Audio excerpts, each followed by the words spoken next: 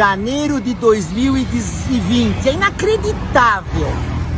Duas horas da tarde. O Minhocão tem a noite fechado, o Minhocão tá sábado fechado, domingo fechado.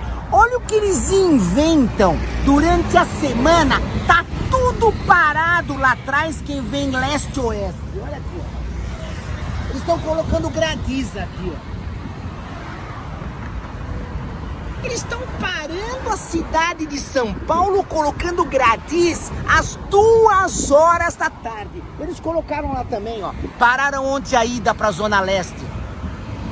Porque se a minha verdade não for a sua verdade, aparece de quatro em quatro anos para enganar a população.